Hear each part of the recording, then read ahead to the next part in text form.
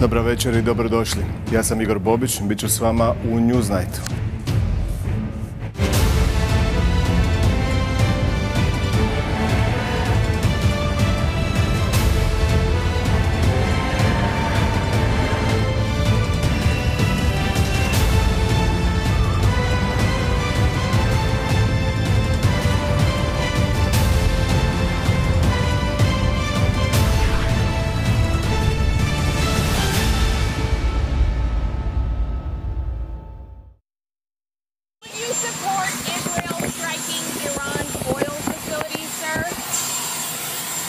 Discussion of that. I think I think that would be a little anyway. Tako je američki predsjednik Joe Biden odgovorio na pitanje o izraelskoj odmazdi. No hoće li se Benjamin Netanyahu moći suzdržati od toga da napadne uopće ili da ne napadne jače, kao što hoće Biden. Dojam je da do sada nije slušao što mu govori glavni saveznik SAD. U međuvremenu Izrael nastavlja bombardiranje Libanona, posebice Beiruta, ali stižu i rakete Hezbolaha na drugu stranu. Ekskluzivno za N1 iz Tel Aviva javlja se legendarni reporter CNN-a Nick Robertson. O refleksiji svega ovoga na američke izbore do kojih je ostalo mjesec dana razgovaram s profesoricom Zagrebačkog fakulteta političkih znanosti Marijanom Grbešom Tenzerović koja je u Washingtonu. Pričat ćemo i o manifestaciji kojom se promovira turizam Slavonije i Baranje, Head on East. Gost je osječko-baranski župan Mato Lukić. Nakon jučerašnjeg nastupa Dinama na Maksimiru i osvojenog jednog boda analiziramo šanse modrih u Europi.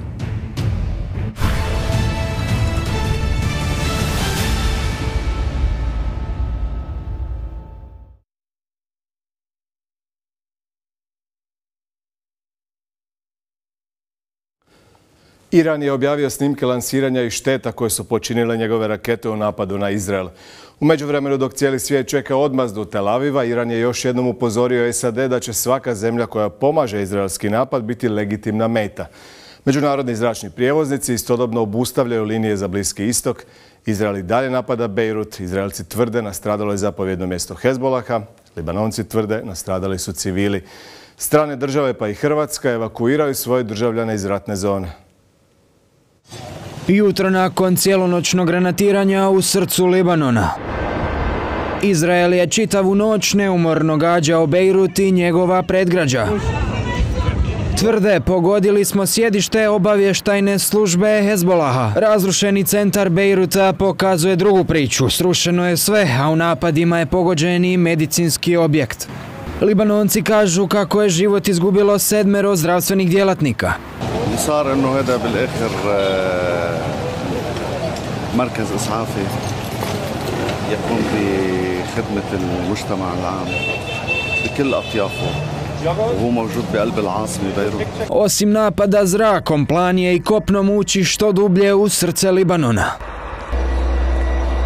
Izraelske obrambene snage upozorile su civile da napuste južnu granicu Libanona. Većina stanovnika bježi na sjever, prema Turskoj. the war. We are not no safety again. We don't wish that. Nobody wished the war. You know, we have kids, we have our uh, home, we have our uh, jobs, and we wish to live safe. U tijeku je evakuacija stanovništva iz libanonskog glavnog grada. Veleposlanstva rade punom parom. Španjolska je poslala dva zrakoplova, Grčka jedan. We feel relaxed, uh, no more tension, uh, and it's too bad what happened in Lebanon. Very bad, uh, unorganized and unpla- unplanned. They shouldn't have done this. We have nothing to do with the war. Lebanon has nothing to do with the war, all other uh, countries.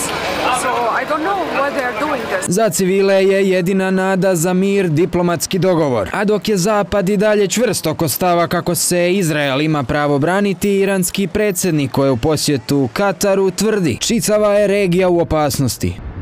امنیت منطقه امنیت همه ما مسلمان هاست و ما به هیچ وجه به دنبال جنگ و خونریزی نیستیم از موقعی که بنده به عنوان رئیس جمهور انتخاب شدم. در تمام صحبت ها تلاشم بر این بوده که بگیم ما به دنبال صلحیم ما به دنبال آرامشیم. Također upozorava ako se Izrael osveti, Iran neće mirno stajati. و ما مجبور به پاسخ شدیم. و اگر بخواهد طور دیگه ای عمل کند پاسخی محکمتر خواهیم داد.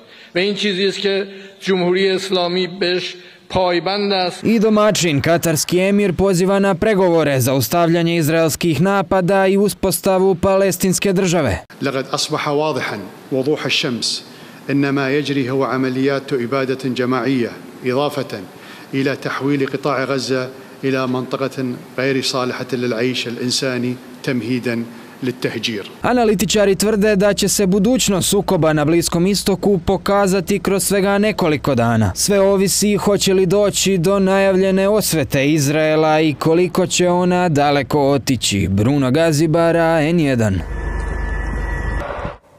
A na izvlačenju svojih državljana iz Libanona radi Hrvatska. Veleposlanik Tomislav Bošnjak za N1 je rekao da ga je kontaktiralo 15 osoba od oko 126 hrvatskih državljana u toj zemlji. Ministar pak vanjskih i evropskih poslova Gordan Grlić Radman kaže kako su uz pomoć Slovačke organizirali njihov povratak kući. 15 državljana Republike Hrvatske, pretpostavljamo da su većinom i dvojni državljani, javilo nam se iz Libanona sa željom da eh, budu evakuirani i da se vrate ili otputuju u Republiku Hrvatsku. Veleposlanstvo u Republike Hrvatske u Kairu im izišlo u susret i eh, jedna od tih osoba će otputovati prema domovini sutra, a ostali će otputovati posredstvom pomoći koju smo dobili Slovačke i njihovim zrakoplovom prema Zagrebu dan kasnije. I organizirali smo načine njihovog dolaska u Hrvatsku, tako da ovoga trenutka imamo ponudu Slovačke koji organiziraju humanitarni let 5. listopada kada će e, preko od Beiruta preko Cipra doći do Bratislave, a tada će ih dočekati i preuzeti veleposlanik i e, znači naše, naše kolegice i kolege u veleposlanstvu i na odgovarajući način će im pomoći u njihovu organiziranju puta do Hrvatske. A redakcija N1 televizije razgovarala je s jednim libanonskim liječnikom koji inače godinama živio u Hrvatskoj sa svojom šesteročlanom obitelji. On je jučer izišao iz Bejruta, uspio je doći do Afrike i sada traže sigurno mjesto za život. To je užasno, užasno jer u ratu uglavnom mi znamo da je rat između vojske, ali rat vojske koje e, imaju u planu da, da sruše samo civile, to nismo vidjeli, to, to su masakr. Imamo svoju kuću, a imamo svoju ordinaciju. Mhm. A sve je srušeno. Ne samo moj. Sve ljudi su izgubili sve, nema ništa.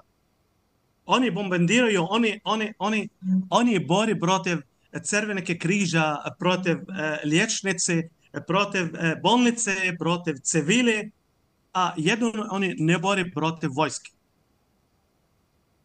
Jer oni su kukavice. Tako mi kažemo. Oni su kukavice. Slušajte, ja, mi, mi tražimo mjesta gdje da, da živimo u miru. Gdje nema bombe. Gdje imam djeca. A djeca u, imaju pravo da žive u miru. Da ne slušaju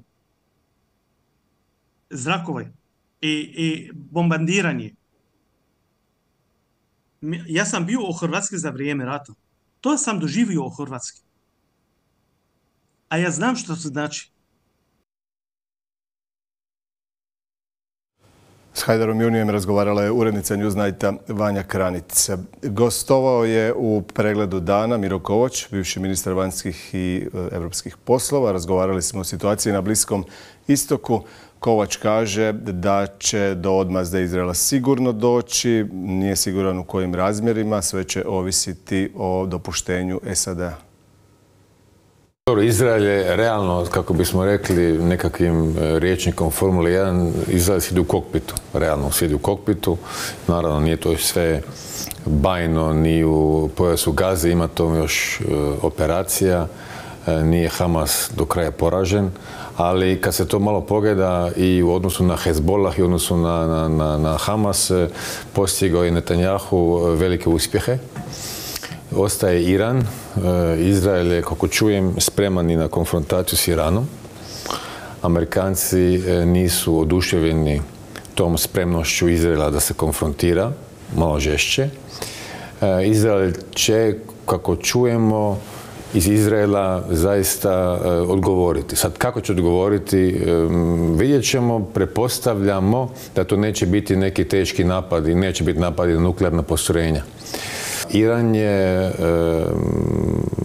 ovim napadom koji se dogodio pokazao da ipak nije toliko snažan.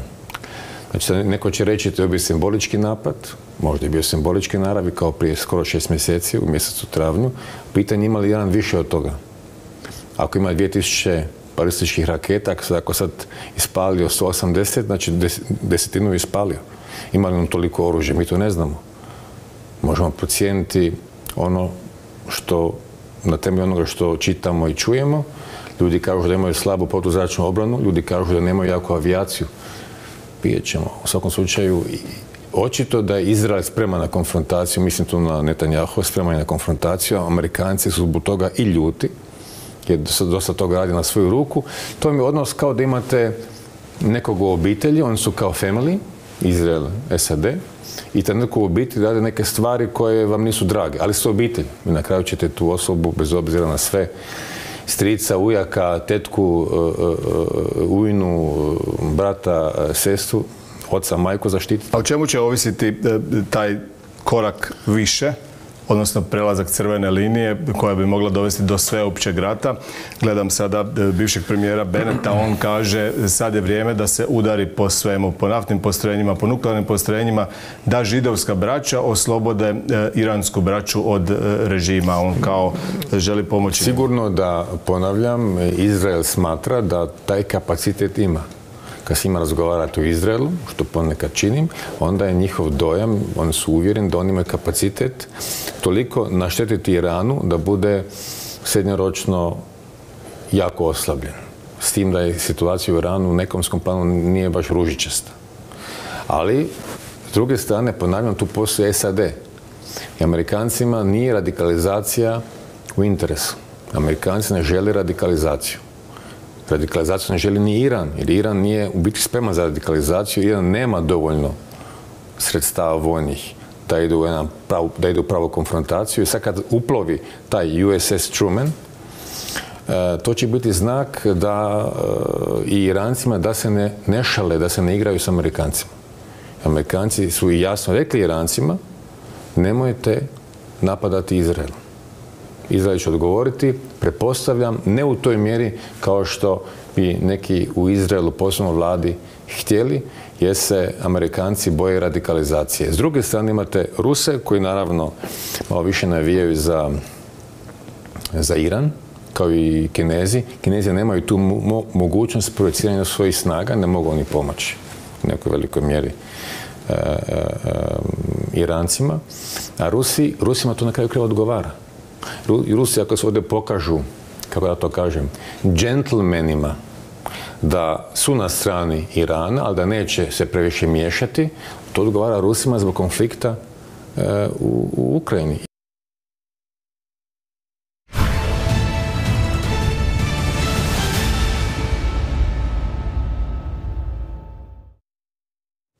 Dakle, Kovač e, kaže, kao što to obično biva, čeka se odobrenje onog e, najvećeg, najjačeg Uncle Sema u liku američkog predsjednika Joe Bidena, za kojeg se mislilo da su ove neke stvari zatekle, ali sada u svakom slučaju e, drži leđa Izraelu i bez njegova odobrenja neće biti ni odmazde. Uhvatili su ga kratko reporteri na odlasku iz Bijele kuće. Evo što je rekao na pitanje o toj odmazdi.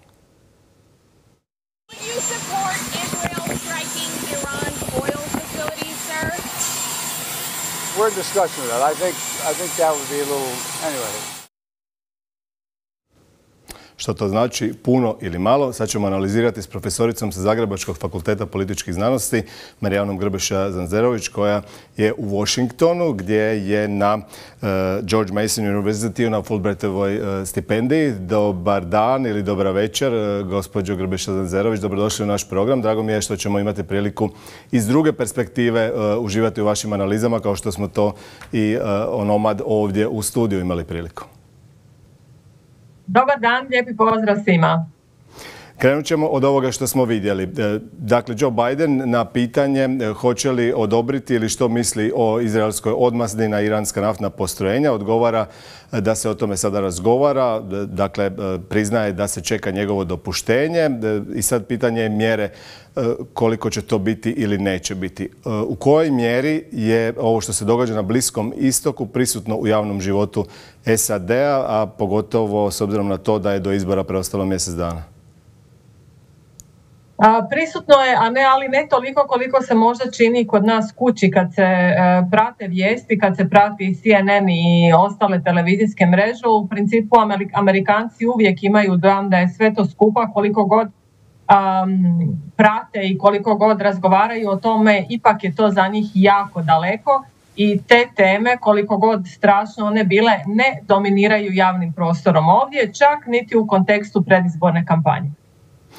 Koliku će i hoće li imati ulogu onda u preostalih mjesec dana to kako koji kandidat gleda na, na, na, na to. Znamo da je bilo izjava i u onoj debati e, Harris i e, Trumpa, bila je izjava i sada u potpredsjedničkoj kampanji, ali nešto, nešto kratko. Trump je svojedobno bio rekao i da ako bude Kamala Harris vodila američku politiku, da će Izrael prestati postojati za dvije godine.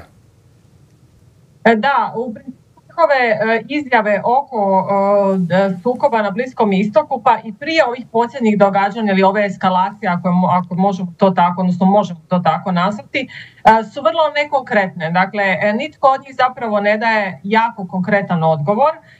Svi na neki način zaobilaze pravi odgovor i služe se općim frazama kako bi zapravo se postavili oko te teme. Ono što im je zajedničko da svi čvrsto stoje uz Izrael, dakle oko toga nema e, niti razlika, niti ikakve dileme, dakle to je njihova e, pozicija jednih i drugih, a zapravo se narativi u kontekstu izborne e, kampanje svode na dvije stvari. Donald Trump optužuje Joe Bidena i Kamalu Harris da ne znaju upravljati vanskim, vanskim, vanskom politikom i da dok, dok je on bio predsjednik Amerika nije bila uh, ni u kakvom sukobu, odnosno da je svijet bio mirno mjesto, a otkad su oni došli na vlast, dakle da su ratovi diljem svijeta eskalirali i da je Amerika tu um, se pokazala kao slaba i to je zapravo glavni ključni napad uh, Donalda Trumpa i njegov je naravno argument ako ja uh, dođem na vlast, već će se to riješiti. E, s druge strane, dakle, e, Kamala Harris i Joe Biden zapravo pokušavaju na neki način iskomunicirati i neutralizirati e, te, te napade, držeći ovu poziciju zapravo da su oni saveznici Izraela i da nije točno naravno da je Amerika slaba, da pače da je Amerika super sila koja i dalje zapravo uspješno upravlja cijelom tom situacijom. Dakle, to su te nekakve e, dvije pozicije,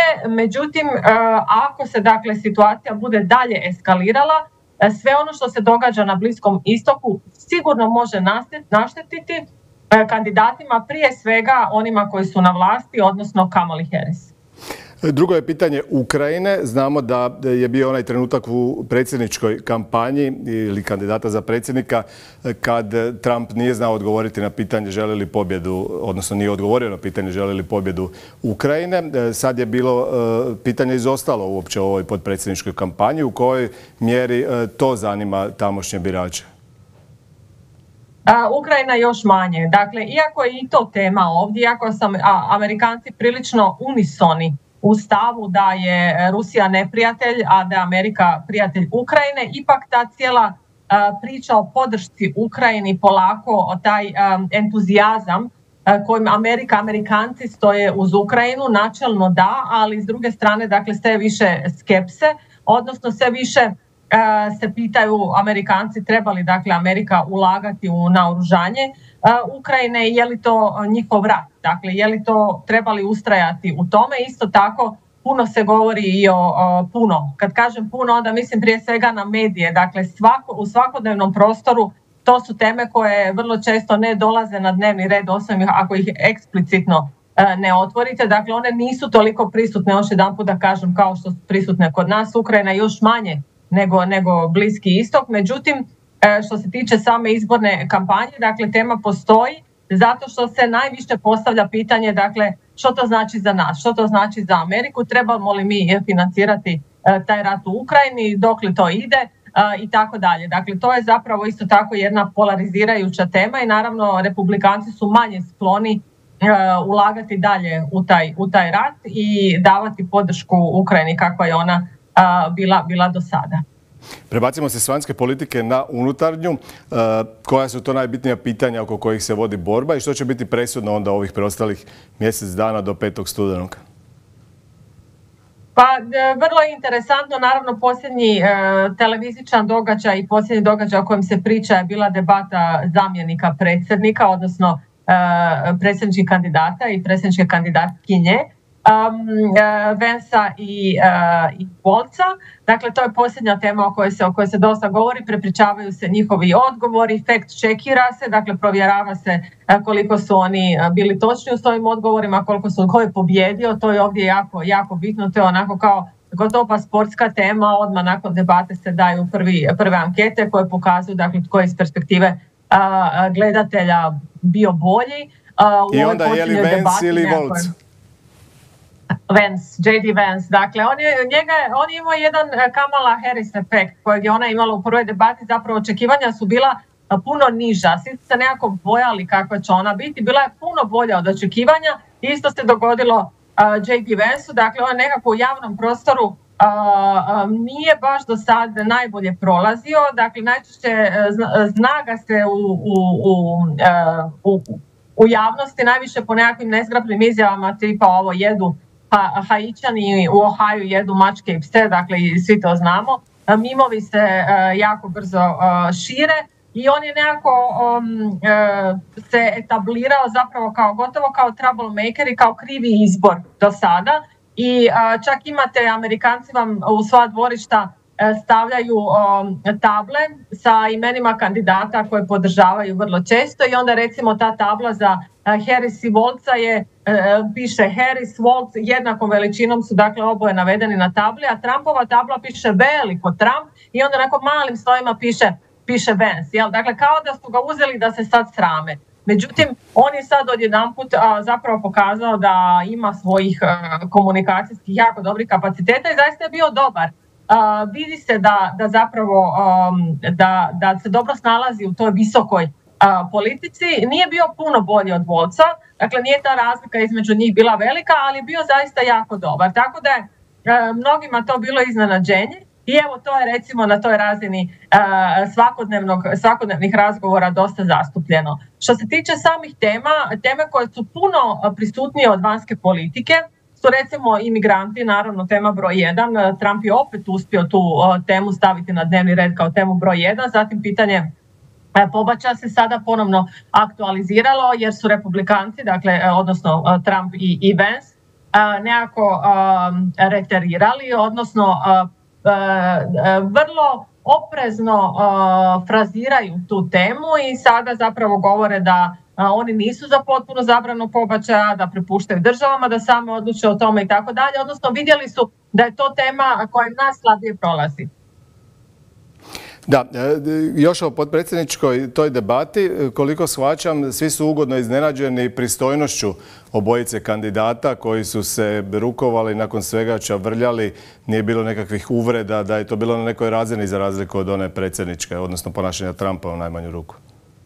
Da, to je bila debata kakve su debate nekad bile. Znači, to je bila mainstream jedna debata koja je bila pristojna i zapravo nevjerojatno je da mi danas pristojnost u političkoj komunikaciji uočavamo kao fenomen. I zaista oni su se odmaknuli uh, od debate i bili su puno uh, sadržajniji od uh, debate koju smo gledali između Harris i, i, i Trumpa koja je bila onako prilično besadržajna sve u svemu i e, koja je bila puno nepristojnija. A, da ne govorimo o nekakvim drugim još a, a, debatama ranijih, ranijih godina, ranijim ciklusima predsjedničkih izbora i slično. Što znači da evo zapravo oni su nekako a, očito u, pogotovo u taboru republikanaca koji jako s Trumpom naravno koji forsira taj tip a, nepristojne komunikacije su shvatili da možda ne bi bilo loše da, da se vrate zapravo u, dakle, taj diskurs pristojnosti, a to i Vensu je nekako um, prirodno, jel, dakle on, on se u tome dobro snalazi. Tako da da, zaista kampanja, debata, njihov razgovor je bio izrazito civiliziran. Što se tiče daljnjeg razvoja onda kampanje u tih preostalih mjesec dana, postoje li neki događaj ili što bi se trebalo dogoditi da prednost jednom ili drugom kandidatu da u odnosu na sad ovu izjednačenost koja vlada po svim anketama, iako naravno treba uzeti u obzir da to ništa ne znači jer taj popular vote u Americi možeš ih dobiti par miliona više ako elektorskih glasova nemaš, možeš se slikati. Točno, da. Amerikanci imaju taj vrlo specifičan izborni sustav gdje se na kraju o pobjedniku odlučuje tih nekoliko država, jedna od kojih je recimo Pensilvanija, druga je uh, Sjeverna Karolina, zatim Arizona, Wisconsin, dakle to su neke države uh, u kojima se um, odlučuje o, o tome.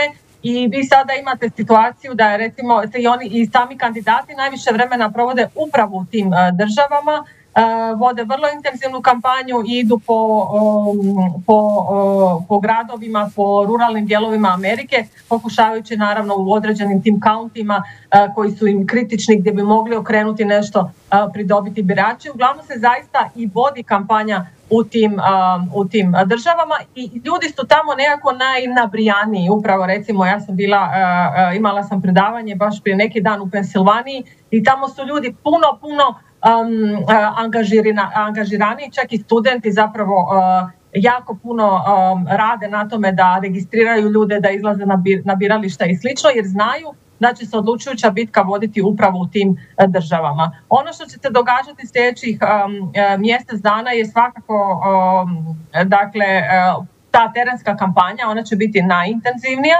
Uh, Biće nešto medijskih događanja, međutim, evo, Trump uh, nije htio nastupiti u emisiji 60 Minutes, što je recimo uh, za Amerikance onako um, jedna stvar koja je tradicionalna, zatim odbio je drugu, drugu debatu sa Kamalom Harris, tako da neće biti vjerojatno puno tih um, televizijskih događanja koja će dignuti ovako, ovako interes kao što su te debate, ali dakle e, taj teren će jako puno se sada odrađivati i na kraju će o tome jako puno ovisiti, dakle onome što će odraditi lokalni njihovi političari, guverneri, kongresmeni, senatori, dakle koji su svi sada upogonjeni i jako puno rade. Strahuje li se u Americi e, da e, onaj koji izgubi, a ako to bude Donald Trump, ne prizna rezultat izbora? On je to govorio još i prije nekoliko mjeseci.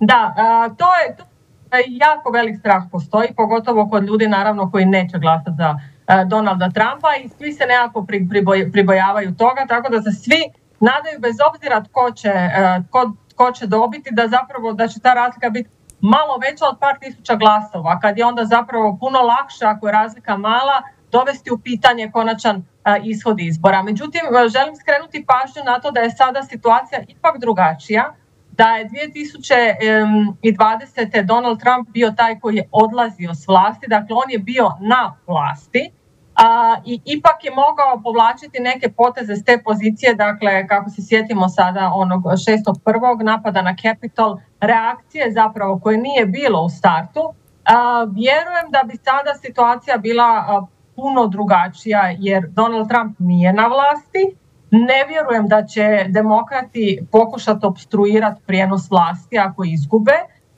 ali vjerujem da će isto tako se osigurati da se ne ponovi ono što se dogodilo dakle u prvom mjesecu 2020. godine. Dakle, ne treba to zaboraviti i mislim da će to bez obzira na sve biti bitan faktor i nekako ja nemam taj tip straha koji je postojao, dakle koji nije postojao onda pa se desilo, sad postoji, ali mislim da bez obzira uh, se tako nešto neće dogoditi, ali se svejedno nadam da razlika neće biti tako jako mala zapravo uh, da, bi se, um, da bi se rezultat izbora mogao uh, dovoditi u pitanje. Što s drugim scenarijom? Uđe li Trump ponovno u Bijelu kuću? Znamo koji su strahovi prevladavali kad je to bilo prvi put. Izdavale su se knjige njegovih bivših suradnika kojih je bilo kao na traci su se mijenjali. E, neki od njih su e, bili zapravo oni koji su ga e, sputavali da, da bude onakav kakav jest. I onda je na kraju, izuzevši taj 6. siječnja, on taj mandat proveo onako, radeći stvari koje radi Amerika. Što se sad može dogoditi? Može li se sad dogoditi da sve kočnice popuste i da zapravo on više nikoga i ništa e, ne sluša? Pa jedan od najvećih, e, jedan od nasljeđe njegovog mandata je zapravo ogromna polarizacija Amerike. I to vi, vi možete jasno pratiti kad gledate taj graf, kako od 2016. godine se Amerika jako polarizirala politički, ali recimo medijski. Vi vidite kako su mediji zapravo jako zauzeli strane i kako oni onda e, samo um, uh, perpetuiraju zapravo tu njihovu uh, društvenu i političku podijeljenost. I to je na neki način nasljeđe tog Trumpovog, um, te Trumpove vladavine i to je ono čega se Amerikanci najviše boje. Jako se boje ideološke polarizacije, jako se boje radikalizacije i vi imate u Americi zapravo jasnu podjelu između država. Vi čim krenete dole prema, e, prema jugu, vidite e, prema Floridi, Georgiji, e, Južnoj Karolini, Alabami, vi vidite zapravo jako puno nekakvih konfederacijskih oznaka, vidite puno jako puno religioznih oznaka, vidite puno Trumpovih trgovina, znakova koji govore ovaj, da je Trump naš i slično. I sve se to mijenja zapravo kad idete, idete prema, prema sjeveru. I Amerika u tom smislu zaista jedna podijeljena zemlja. Teško je govoriti o jednoj državi, zapravo jako je puno tu um, različitih stavova, uvjerenja, onda to pitanje njihovog oružja, to je jedno od jako važnih pitanja ovdje. E, tako da jedni strahuju od drugih, da, da skratim, i nije samo Trump taj od kojih strahuju, na jugu strahuju od Kamale Harris. Dakle, e, postoji ta jedna velika podijeljenost ovdje, ali ono što je činjenica je da zapravo e, sa Trumpom dolazi i ogromna podjela i s Trumpom zapravo ono čega se ljudi jako boje, ovdje e, dolazi ta neizvjesna politika prema imigrantima i to je ono od čega strahuju jako puno ljudi ovdje koji imaju napola riješene papire, neriješene papire i slično što naravno je za nas u Europi um, neshvatljivo da recimo ovdje dijete možete upisati u školu bez da imate gotovo pa ikakav dokument osim recimo računa za struju na određenu adresu. Ja?